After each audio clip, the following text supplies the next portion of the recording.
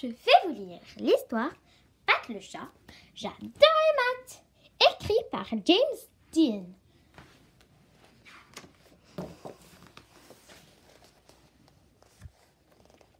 C'est l'heure des maths, dit l'enseignant de Pat, Monsieur G. Pat le chat adore les maths. Il adore jongler avec les nombres.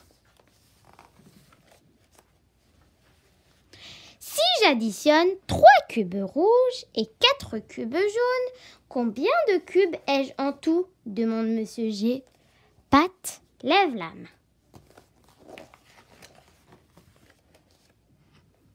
7 cubes, dit Pat. 3 plus 4 font 7. Très bien, Pat, dit Monsieur G. Monsieur G pose ensuite une question sur les soustractions. J'ai 7 cubes. Si j'en enlève 2, combien reste-t-il? Pat lève la main, mais l'enseignant interroge Thomas. 9 répond Thomas. Pat se sent mal pour son ami Thomas. Thomas est très intelligent.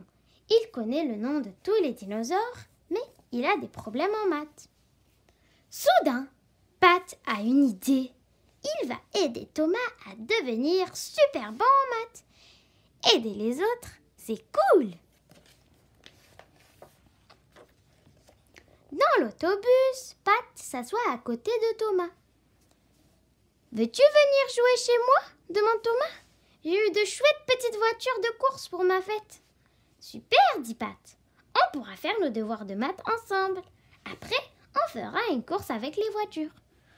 Je déteste les maths, dit Thomas. Tu ne détestes pas les maths, dit Pat. Tu n'as pas encore appris à les aimer.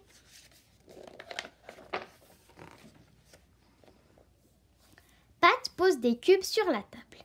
Si j'additionne 5 cubes bleus et 3 cubes oranges, combien de cubes ai-je en tout? C'est ennuyeux, dit Thomas. Peut-on jouer avec mes voitures? Cela donne une idée à Pat. Bien sûr, dit-il. Pat aligne des voitures sur la table. Si cinq voitures rouges se rendent au circuit et cinq voitures jaunes vont au lave-auto, combien de voitures sont sur la route? demande-t-il. Facile, dit Thomas. Dix voitures. Un vrai embouteillage. Et maintenant, qu'arrive-t-il si deux voitures restent à la maison? demande Pat. Combien de voitures restent-il Hmm, dit Thomas en regardant les voitures. Huit voitures. C'est ça, dit Pat. Tu vois, je t'avais dit que les maths c'était super.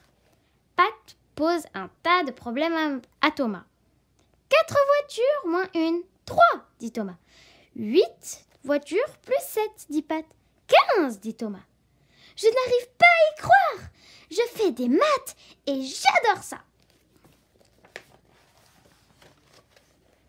Pat et Thomas font leurs devoirs. Dis-moi si tu as besoin de mon aide, dit Pat. Merci, dit Thomas, mais je sais ce que je fais maintenant. Le lendemain, Pat donne son devoir de maths à l'enseignant. Thomas aussi. Après le dîner, l'enseignant rend les devoirs aux élèves. Pat et Thomas ont tous les deux fait une faute. L'enseignant leur dit J'aimerais vous parler après la classe. Plus tard, Monsieur G explique Vous savez que vous ne devez pas copier l'un sur l'autre. Nous n'avons pas copié, dit Pat. Vous avez fait tous les deux la même erreur, dit l'enseignant. Hmm. Comment pouvons-nous prouver que nous avons trouvé les réponses tout seuls? demande Thomas. Je sais, dit Pat. Apporte tes voitures à l'école demain. Pourquoi? S'étonne Thomas. Tu verras, dit Pat en souriant. Le lendemain, Pat et Thomas arrivent tôt à l'école. Pourquoi y a-t-il toutes ces voitures sur la table? demande Monsieur G. Pour vous montrer comment Thomas est devenu si bon en maths, répond Pat. Donnez un problème de maths à Thomas, n'importe lequel. Je vais le résoudre sans l'aide de Pat, dit Thomas. Monsieur G pose un tas de problèmes à Thomas. Thomas utilise ses voitures pour trouver les réponses. Formidable s'exclame Monsieur G. Je comprends que vous avez fait la même erreur par accident.